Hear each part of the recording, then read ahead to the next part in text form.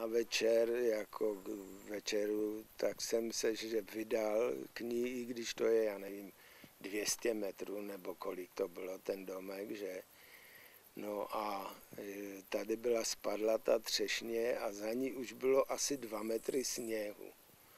Jo, takže jsem šel v takových starých šlapotech, kterých, když mi ujela noha, tak jsem si malem zlomil nohu, bo to bylo omrzlé kolem, kolem té nože, bo to jsem do těch dír starých šlápal, abych se moc nebořil. No a přišel jsem k paní Šterové, k domku a tak jsem musel lehnout na ten sníh a zaklepat jí na okno, které bylo pod úrovní toho sněhu, že? No a, a teď mi říkala, že hodila mi lopatu z okénka z hora, jestli pamatuješ, jak to bylo. Mi hodila, ať si můžu odhazat sníh ke dveřím, které měla v tom domečku. A to bylo, já nevím, asi tak, já nevím, deset pod nulou. Jo, a tak já jsem ten sníh odhazoval, ale byl vítr, takže mi to zasfoukali zpátky do té díry, jak jsem vyhazoval. Po hřbetě mi tek pot, jo, pro crčkem.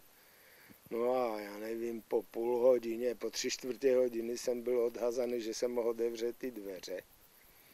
No a tak jsem mi otevřel a říkám, kurník, babko, to já se můžu na takovou návštěvu vykašlat, abych já tu odhazoval sníh, jo, abych mohl přijít na návštěvu. No, tak jsem zavřel a teď babka močila chleba v bílé kávě, kterou tam měla, že ona měla ty, ty kozy tam, takže ona si nadojila, měla mlíko, měla všecko úsporně udělané.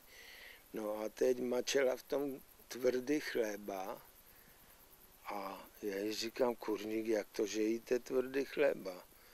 A ona mi říkala, furt lepší tvrdý chleba než hovno. Jo, což jsem uznal za vhodné, že asi má pravdu. Jo, takže ona byla zajištěna na to, že hlady nemohla umřet. Jo, i v takových podmínkách. No a potom mi bylo vysvětlené, že ona si koupí 15 chlebů nebo, nebo 10 chlebů, dá jich do trouby, usuší jich a dával jich do takých platěných sáčků, které zavěšovala potom na trám, aby myši na to nemohli vlézt, víš. Oni po té šňůrce, sice oni jsou džongleři, ale tam se na ten trám nedostali, že. No, a tak takový způsob, a ona, dejme tomu, já říkám, kurníka, co tak obědváte, jak to? No, já jsem měla kedlubny a to pamatuju, že ona e, zavařovala si na zimu věci, takové zavařeniny, a ona, jelikož moc nesnědla, tak do půlky sklínky a to měla na ten jeden oběd, jo. A ona měla zavařované, no všechno, co se dalo použít, i maso měla nějaké zavařené a to.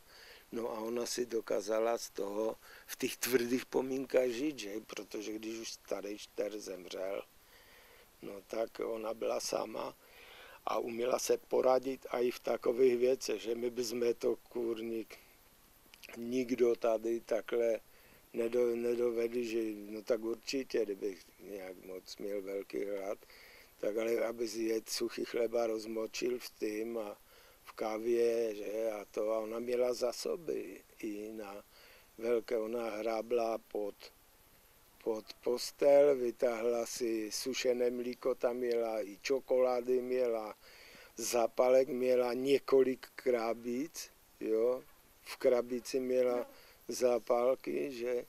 No a, a hlavně měla potom i takové společenské hry. Kluci tam v ní chodili hrát karty, že to ona jí hlákala vždycky na karty a učila jí hrát karty, že oni byli malí, tenkrát měli, já nevím, 8, 9, 10 let. No a oni, to bylo jejich pravidelné, že nám vždycky utekli a za, za babkou a, a hned tam mastili karty, že? No.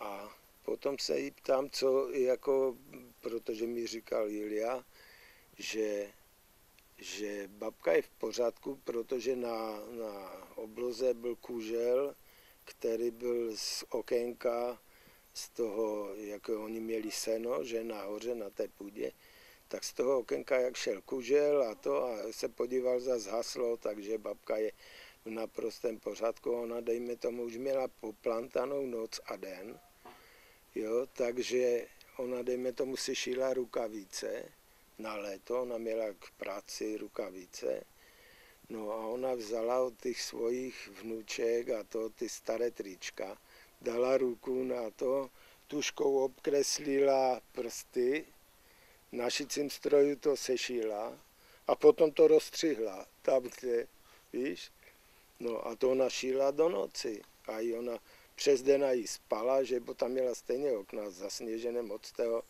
nebylo vidět, tak ona měla to popletené, televizu neměla, radio neměla, takže ona si vyna v takové práci, jo, a ještě metly dělala, že doma celou zimu ona potom rozdávala metly na jaro, měla metel nadělanou, ona si ty proutky nastříhala, že tam jak se jde ke kapličce, tak nastříhala ty ty proutky, anebo někde vrbové, já ti ani nevím. Jo, tu byla dole u Beďáku vrba, tak to taky nastřihala a, a na zimu potom to jí usklo, že jak to bylo suché, tak to posvazovalo.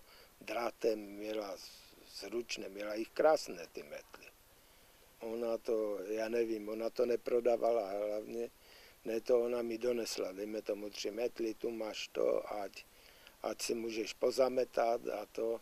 Takže ona v tom, víš, viděla takový nějaký, no že chtěla někomu udělat radost, což taky stačí.